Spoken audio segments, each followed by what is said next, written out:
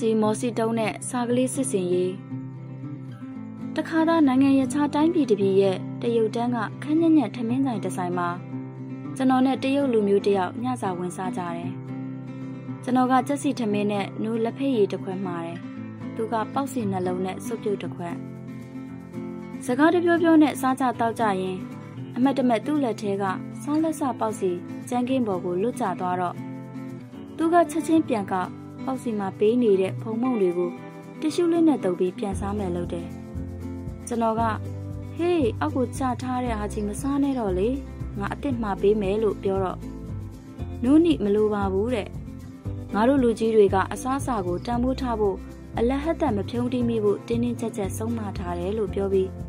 ဖုံနေပေးနေတဲ့အပိုင်းလေးကိုဖဲ့ကဖဲ့ကနဲ့ပြန်ကောက်ထားတဲ့လက်ထဲကပေါက်စီကိုဆက်စားတယ်။ သူစကားကိုကြားရတော့ကျွန်တော်ခေါင်းထဲမှာ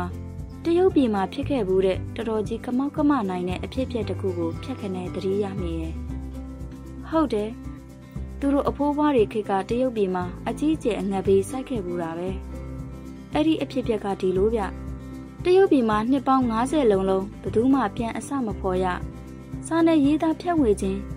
အချင်းချင်းပြောဆိုဆွေးနွေးခြင်းလုံးဝမပြုလုပ်ရလို့အစိုးရကတင်းတင်းကြပ်ကြပ်ပိတ်ပင်တားမြစ်ထားတဲ့ အကြောင်းအရာတစ်ခုရှိရဲ့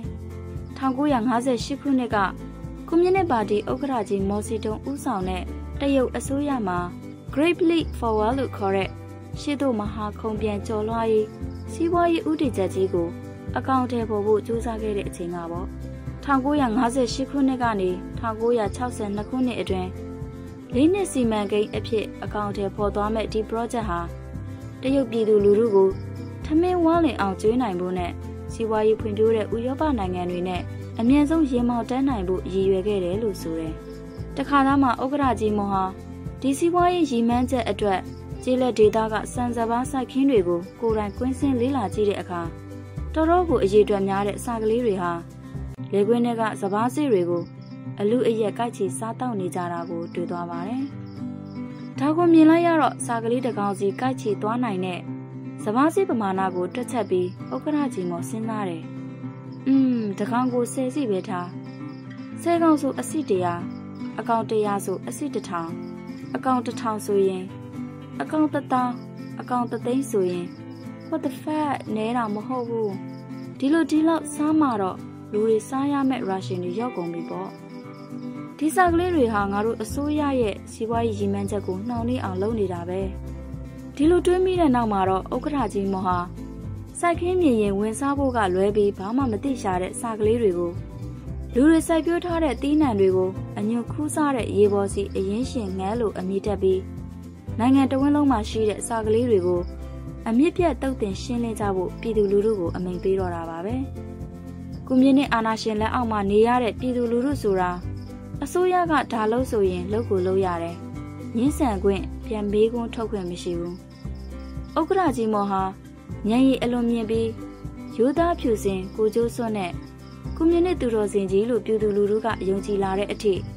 ကွန်မြူနစ်အုပ်ချုပ်ရေးရန်တရားအဆင့်ဆင့်ကနေဝါဒဖြန့်ပြီးရိုက်သွင်းထားတယ်။တိုင်းပြည်ဟာကဘာကြီးနဲ့အဆက်ပြတ်နေတော့အသိဉာဏ်ဘဝတုဒလည်းကောင်းကောင်းမရှိရှာတဲ့တရုတ်ပြည်သူတွေဟာညှင်းဆန်ခွင့်မရှိတဲ့ဥက္ကရာကြီးမော်ရဲ့အမိန့်ကြောင့်စာကလေးတွေကိုမဖြစ်ဖြစ်တဲ့နည်းနဲ့တုတ်တင်ရှင်းလင်းခဲ့ကြရပါတယ်။ လူတွေဟာတန်မုံတွေကိုစီကင်ပြီးလေကွင်းထဲကအသင်ဆောင်နေကြတယ်။စာကလေးတွေမြောက်ဘက်ကိုပြန်လာရင်မြောက်ဘက်အုပ်စုကတန်မုံတီးပြီးခြောက်လွတ်တယ်။စာကလေးတွေကတန်မုံတီးတန်ကြားလို့ကြောင်းလန့်ပြီးတောင်ဘက်ကိုပြန်လာရင်တောင်ဘက်ကတန်မုံတီးပြီးထက်ခြောက်လွတ်တယ်။အရှိဘက်ကိုလာရင် အရှိဘက်ကခြောက်လွတ်တယ်။အနောက်ဘက်ကလာရင် အနောက်ဘက်ကခြောက်လွတ်နဲ့ကြာလာတော့စာကလေးတွေအငတ်ငတ်အပြက်ပြက်နဲ့ပြန်ရလွန်းလို့ခြေကုံလက်ပန်းကျပြီးတည်ကုန်ကြတယ်။ တချို့ကစာကလေးအတိုက်တွေကိုရှာပြီးဖျက်ဆီးပစ်တယ်။စာကလေးအုပ်ကိုပိုက်ကွန်နဲ့ထောင်ဖမ်းတယ်။တနည်းရရမှာနားနေတာတွေ့ရင်လေးခွားနဲ့စော်တယ်။တူးမိနဲ့ပစ်တယ်။မိလာတဲ့စာကလေးတွေကိုကင်ရွေတစ်မျိုးချက်ရည်တစ်ဖုံအောင်သေးအောင်သာစားကြတယ်။ဒီလိုနဲ့နှစ်ကုံတော့ဥက္ကရာကြီးမော်လိုချင်တဲ့အတိုင်းတိုင်းပြည်မှာစာကလေးတွေမျိုးသုံးလူလူအခြေအနေထိရောက်သွားပါတယ်။အဲ့ဒီနှစ်ကတနိုင်ငံလုံးမှာ စာကလေးအရွေအတွက်ဘယ်လောက်ထိတည်ဆုံးသွားတယ်ဆိုတာဘာ information မှမရှိဘူး။ဘယ်သူမှအတိအကျမပြောနိုင်ဘူး။ဒါပေမဲ့လူတစ်ယောက်စီတက်ခဲ့တဲ့စာကလေးအရွေအတွက်ကိုစစ်တမ်းကောက်ပြီးပြန်ညတွက်ကြည့်တော့မှစာကလေးအရေးအတွက်တန်း600ကျော်အသက်ခံခဲ့ရတယ်လို့ခန့်မှန်းကြတယ်။အဲ့ဒီအချိန်ကတရုတ်ပြည်လူဦးရေဟာလည်းတန်း600လောက်ပဲ။စာကလေးတွေကိုအပြတ်ရှင်းပြခဲ့တဲ့လူရဟာနောက်တစ်နှစ်လဲရောက်ရောအကြီးအကျယ်ပြဿနာတက်တော့တာပါပဲ။ ဥက္ကရာကြီးမမသိခဲ့တာကစာကလေးတွေဟာစပားစီတွေတက်တက်ကိုစားတာမဟုတ်ဘူး။တခြားသီးနှံဖြတ်ပိုးတွေ၊ကျိုင်းကောင်တွေကိုပါစားပစ်ပြီးစိုက်ခင်းတွေကိုတစ်ဖက်တစ်လမ်းကအကျိုးပြုပေးနေတယ်ဆိုတဲ့အချက်ပါပဲ။တီးနှံစိုက်ခင်းတွေမအောင်မြင်ရတဲ့အကြောင်းရင်းကိုဥက္ကရာကြီးမော်တီးလိုက်ရတဲ့အချိန်မှာတော့အရာအလုံးဟာတိတ်ကိုနောက်ကျသွားခဲ့ပါပြီ။တီးနှံအဖြတ်ပိုးတွေနဲ့သူတို့ရဲ့မေဂျာအသားစားကောင်စာကလေးတွေမရှိတော့တဲ့အကျိုးဆက်ကြောင့် ရုတ်တရက်အရေးအတွက်ဝုန်းကနေမြင့်တက်လာတဲ့ကျိုင်းကောင်အုပ်ကြီးဟာနိုင်ငံတော်ဝန်လုံးမှာရှိတဲ့စိုက်ခင်းတွေစီကိုမှုန်တိုင်းတိုက်တယ်လို့စုပြုံကြားရောက်လာကြပြီးလူတွေစိုက်ပျိုးထားသမျှအသီးနှံတွေကိုရစရာမရှိအောင်ဝါမြူစားတောက်ပြကြတော့တယ်။ဘာအသီးနှံမှမထွက်ပဲတစ်နှစ်ကုန်သွားတော့အငက်ဘေးကြီးစိုက်ပြီးစားစရာဆန်မရှိတော့တဲ့အထိဒုက္ခရောက်လာရတဲ့လူတွေဟာစံတပြေရဖို့အတွက်စစ်ဖြစ်တယ်လို့အချင်းချင်းလူကြရင် လူထောင်ပေါင်းများစွာအသက်ဆုံးရှုံးခဲ့ရတယ်။စားစရာစံတစည်းမှရှာမရတော့တဲ့အခါအစာပိုင်းမှာလေယာစိုက်ပျိုးရေးမှာသုံးတဲ့ကျွဲတွေနားတွေလဲကျွက်တွေကိုစားတယ်။အဲ့ဒါတွေကုံတော့အိမ်မေးတရိတ်ဆန်ခွေးတွေကြောင်တွေကိုစားတယ်။ရွေးချက်စရာဘာမှမကြံတော့တဲ့အခါငတ်မုတ်ခေါင်းပါမှုကြောင့်ဘလူးတရက်စီးသလိုဖြစ်ကုန်တဲ့လူတွေဟာကိုယ်အသက်ရှင်နိုင်ရေးအတွက်တခြားလူတွေကိုစပြီးစားလာကြတယ်။ နောက်ဆုံးအဆင့်မှာတော့မိဘတွေဟာလူမမက်အရွယ်သူတို့ရဲ့ကလေးတွေကိုသားသမီးတွေဟာအိုမင်းမဆန်ဖြစ်နေတဲ့သူတို့မိဘတွေကိုကဘာမီးလောင်သားတောင်ချနေလို့ဦးမတောက်မှတီလာဆောင်နိုင်မယ်တို့လိုစကားပုံတွေဟာအပြောတသက်မဟုတ်ခဲ့ဘူးဆိုတာဒီလိုအငတ်ဘေးကြီးနဲ့ကြုံမှမျက်ဝါးထင်ထင်မြင်ကြရတာပါပဲအငတ်ဘေးကြောင့်အယိုးပေါ်အရေးတင်ပြီးတီးဆုံးကုန်ကြတဲ့အယုတ်လောင်းတွေဟာလမ်းတွေပေါ်မှာ လေခွင်းတွေမှာနေရအနှံ့ပြဲကျဲနေကြတယ်တရုတ်အစိုးရကဒီအငယ်ဘေးကြောင့်လူပေါင်း15တန်းလောက်အသက်ဆုံးရှုံးခဲ့ရတယ်လို့တရားဝင်ထုတ်ပြန်တယ်။တချို့သောစကောလာတွေရဲ့ခံမှန်းတွက်ချက်မှုအရတည်ဆုံးခဲ့တဲ့လူဦးရေစည်ရင်းအမှန်ဟာ45တန်းကနေ88တန်းကြားမှာရှိနိုင်တယ်လို့သိရတယ်။ Journalist Yan Jason ရေးသားထုတ်ဝေတဲ့ Tombstone ဆိုတဲ့စာအုပ်မှာတည်ဆုံးသူစည်ရင်းအမှန်ကိုဖော်ပြတဲ့စာတစ်ကြောင်းပါမိလို့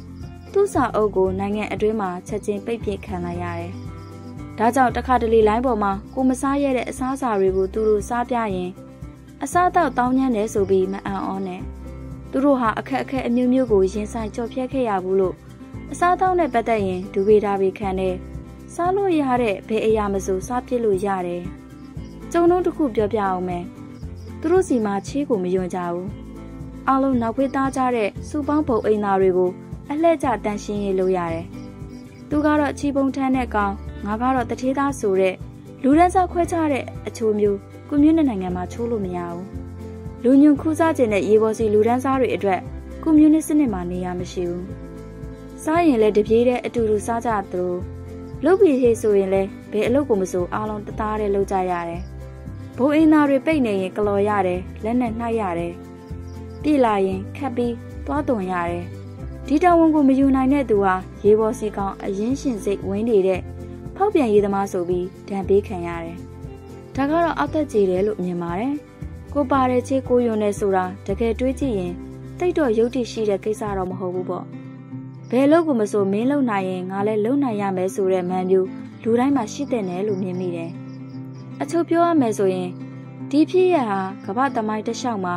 အဆိုးရွားဆုံးတဘာဝပတ်ဝန်းကျင်ဘေးအန္တရာယ်ကြားရောက်မှုကြီးအဖြစ်မှတ်တမ်းဝင်သွားခဲ့ပါတယ်။ကျွန်တော်တို့လူသားမျိုးနွယ်ရဲ့တမိုင်းကြောင်းမှာတဘာဝပတ်ဝန်းကျင်ဘေးအန္တရာယ်ကြားရောက်ခဲ့တဲ့ဖြစ်ရပ်တွေအများကြီးရှိခဲ့တယ်။ဒါပေမဲ့1960ခုနှစ်ဝန်းကျင်ကတရုတ်ပြည်မှာဖြစ်ခဲ့တဲ့ကတ်ဆိုးကြီးနဲ့နှိုင်းယှဉ်လိုက်ရင်ကျန်တဲ့ကိစ္စတွေဟာဘာမှတိတ်မပြောပါတော့တော့ဘူးလို့ယူဆရတဲ့အထိပြောစမဲ့တွင်သွားခဲ့တယ်။ဥက္ကရာကြီးမော်ဟာတဘာဝပတ်ဝန်းကျင်တွေကအခက်အခဲတွေကို အနာယူကျော်လွှားပြီးစိုက်ပျိုးရေးကဏ္ဍကိုတိုးတက်အောင်လုပ်ချင်ခဲ့တယ်။ဒါပေမဲ့ကံမကောင်းအကြောင်းမလားတော့သူ့ရဲ့စီမံခန့်ခွဲမှုအလွဲနဲ့မှားယွင်းတဲ့ဆုံးဖြတ်ချက်ကြောင့်လူတန်းပေါင်းများစွာအချင်းဒီအသက်ဆုံးရှုံးခဲ့ရပါတယ်။